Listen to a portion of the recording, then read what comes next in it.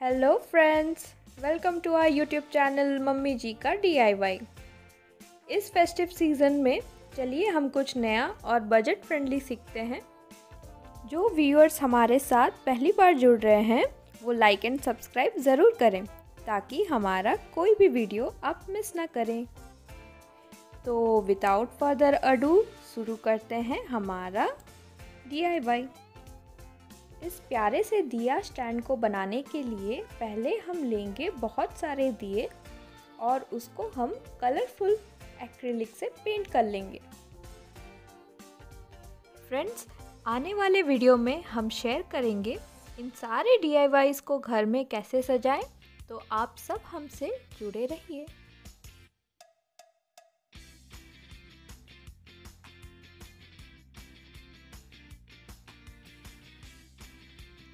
अब हम इस कलरफुल दिए को गोल्डन एक्रिलिक पेंट से डिज़ाइन करेंगे। आप अपने कला से इन दियों को मन चाह डिज़ाइन दे सकते हैं। ये देखिए, हमारे सारे दिए तैयार हो गए।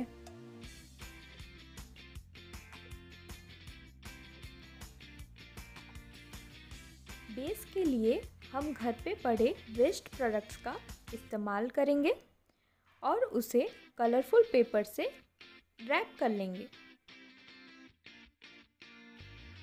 जो लोग हमारे मम्मी जी को जानते हैं, उन्हें तो पता ही होगा कि हमारी मम्मी जी को नए नए डी ट्राई करने और घर को डेकोरेट करने में कितना मज़ा आता है।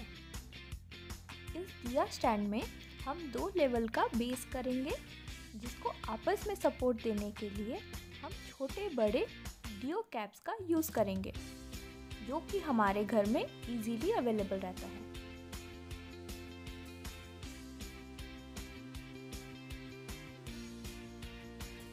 यहाँ पर अपने बेस के लिए हमने कार्डबोर्ड पर ग्लिटर पेपर एंड पर्ल का यूज़ किया है। अब हम इस बेस पर कुछ इस तरह से लेयर बनाएँगे। यहाँ पर हमने जो कैप्स डेकोरेट किया है, उसी को यूज़ कर रहे हैं। ये देखिए, हमारा प्यारा सा डबल लेयर स्टैंड तैयार है। अब हम छोटा सा मिट्टी का कलश लेंगे, जिसे एक्रिलिक पेंट से पेंट कर लेंगे और लेस से डेकोरेट कर लेंगे। ये हमारा बॉटम बेस बनेगा।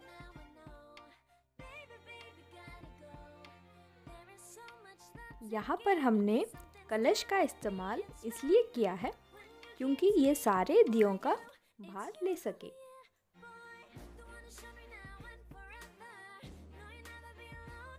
अब हम अपने सारे कलरफुल दियों को अपने स्टैंड पर सजा लेंगे।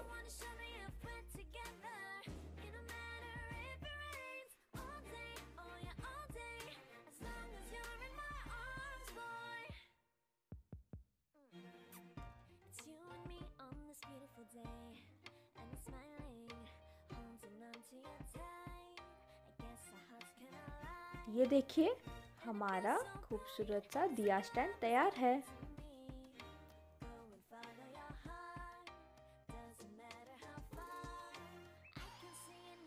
देखिए दोस्तों, हमारा ये दिया स्टैंड कितना प्रिटी और ब्यूटीफुल लग रहा है।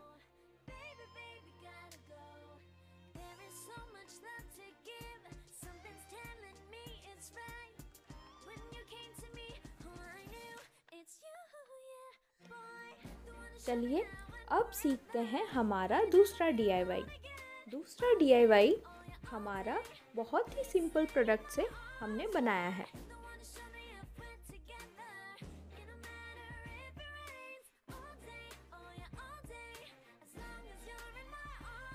इसे बनाने के लिए हम पहले बैंगल्स लेंगे और बैंगल्स को इस तरह से ऊल से रैप कर लेंगे।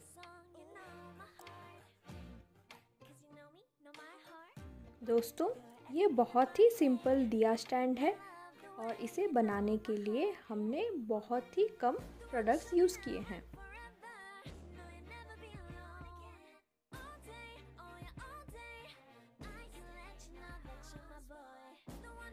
ऊल से रैप करने के बाद इन बैंगल्स को हम इस तरह से डेकोरेट कर लेंगे पर्ल से और छोटे छोटे फ्लावर्स से।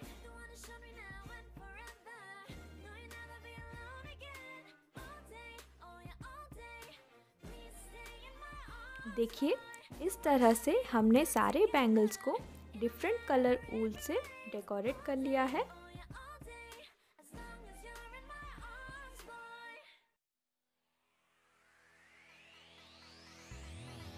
अब हम एक सीडी का बेस लेकर बैंगल्स को एक सिस्टमेटिक अरेंजमेंट में स्टिक कर लेंगे।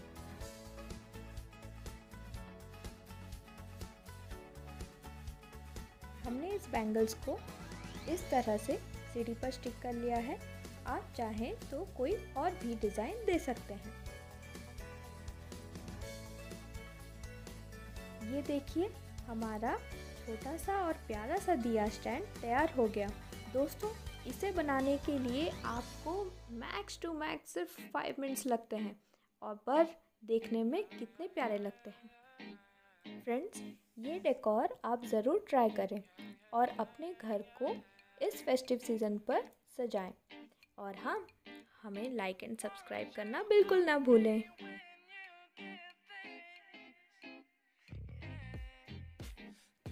Thank you guys for watching our YouTube channel and be connected for our next videos bye bye